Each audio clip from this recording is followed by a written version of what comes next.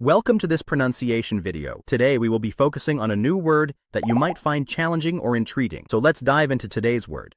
Mannheim, which means a city in southwestern Germany known for its industry. Let's say it all together. Mannheim. Mannheim. Mannheim.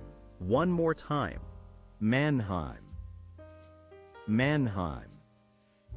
Mannheim. Thank you for joining us on this adventure in pronunciation. Remember, language is a journey, not a destination. Keep exploring, experimenting, and expanding your linguistic horizons. We'll see you next time.